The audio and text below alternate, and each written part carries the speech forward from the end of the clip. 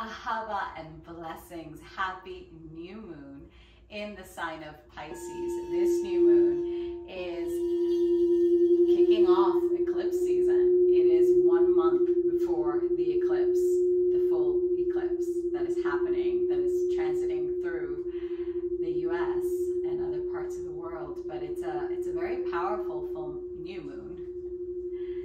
The eclipse is on the full moon. It's a very powerful new moon. It is happening in the sign of Pisces at 20 degrees. And 20 degrees is the number two. And two is all about divine union. Two is receptivity. Two is embodying the divine feminine. Two is two is the high priestess. Two is our connection to the divine. Two divine union it's coming into union with the divine. It's unifying the masculine, the feminine within you. It's transcending duality. And we live in a world of duality. This is the, the game that we signed up to experience. Other realms are far more simpler to navigate. They have less contrast. But our soul chose this world, this earth, to incarnate at this time so we can remember our unity, embody our unity, and activate that in our world, in the earth, in the environment, because there is no separation. We see ourselves because we're in this physical vessel as being separate from one another, from the earth, from the cosmos. But we really are one with all that is. Everything is a mirror and an aspect of you. Everything and everyone, every experience is shedding light on what is it that we need to do? What is it that we need to work on? What is it that we are looking to manifest and birth into the world? Two is the high priestess. The high priestess is standing between two pillars. One is dark, one is light. She is the vessel through which the infinite light of the divine incarnates and manifests into the physical realm. This is a powerful time for manifestation. And with manifestation comes creating space, purification. There is a lot of conjunctions happening in the, the cosmos right now. So let's see. We have the sun conjunct the moon, which is the new moon. But not only that, the sun is conjunct Neptune. Neptune is the planetary ruler of Pisces. Pisces is all about going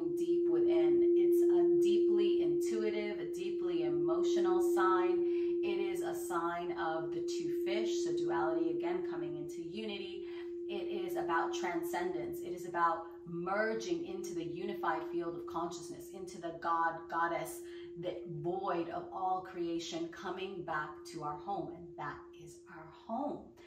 So the two is also the home. The two is corresponding to the Beit. And if you've heard me speak in the Magdalene Monday activation, I talk about the Beit. And the Beit is about the home, not only your physical home, but your physical vessel, your body, the home for your soul to express and to deliver the gifts that your soul came here to share. So these activations, um, so we have Neptune conjunct the sun, we have Saturn conjunct the moon. Saturn is the taskmaster.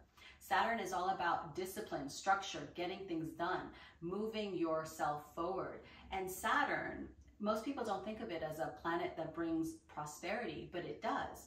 If we work with Saturn in a way that we are fulfilling our mission, our soul contract, then Saturn blesses us with gifts. And Pluto is in the mix, of course. Pluto is sextiling Mercury, communication. We have a sextile between the Sun and Uranus. The Sun, Neptune conjunction, and Uranus in Taurus.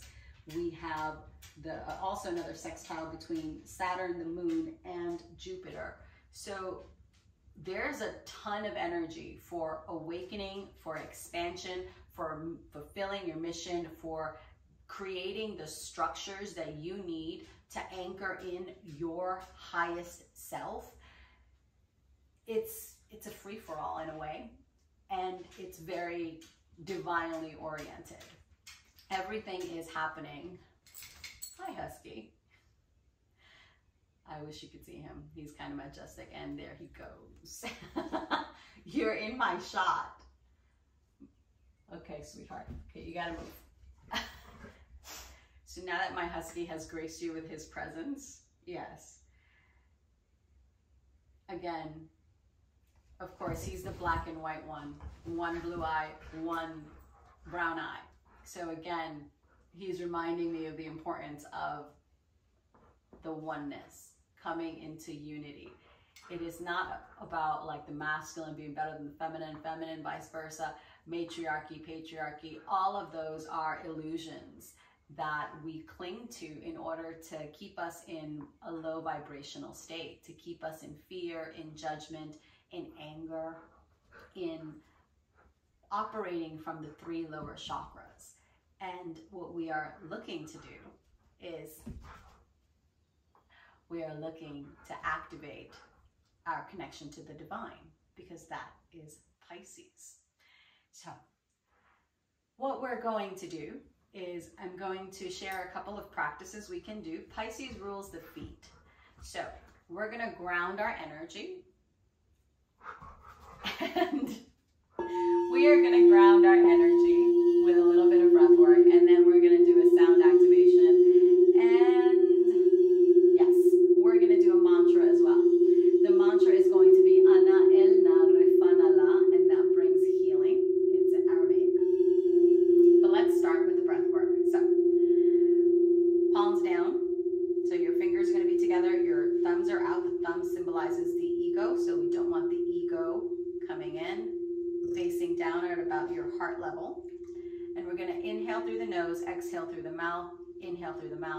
exhale through the nose. So it's a box breath. So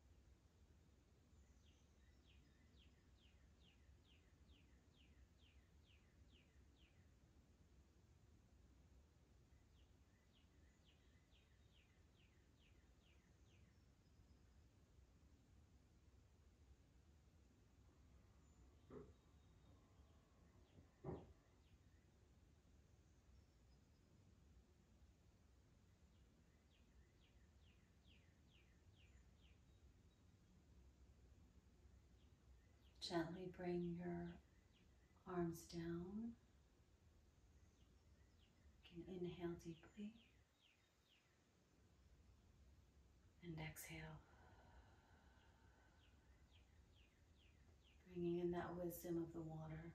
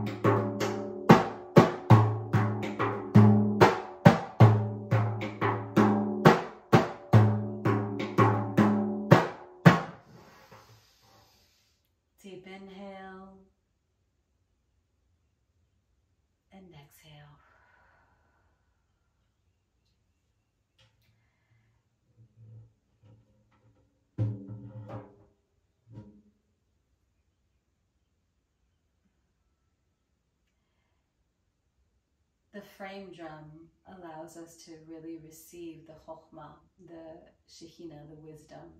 So I hope that my playing wasn't too um, terrible. Uh, it's it's a practice, as everything in our lives are. But I just felt the need to share that mantra with the frame drum. So have a blessed Pisces new moon Remember to ground and anchor the energies. Journal, pay attention to your dreams, eat nourishing foods, drink plenty of water. If you would like a longer sound activation, check out my website, the podcast Sound Activation, as well as a longer, um, well, actually a channeling and a more in-depth um, reading into the energy of this Pisces new moon will also be on my podcast. So the sound activation, of course, please do it on a platform that does not intersperse ads into the body of the text of, of the video. So my website, you can listen to the sound activation and the podcast episode the, that goes with it for free. Um, and I think you can also do that on Apple Podcasts and I think Samsung. I'm not sure what other platforms also do not put ads in the body. Um, that is very, very important when you do a long sound activation that you're actually receiving all the benefits and not some other squirrely energies. So have a blessed new moon. Ahava, if you enjoyed this, subscribe, share with people who you think will be inspired and enjoy this. And of course, comment below and let me know where you received the energy, whether it was for the mem activation, for the sound, or the mantra.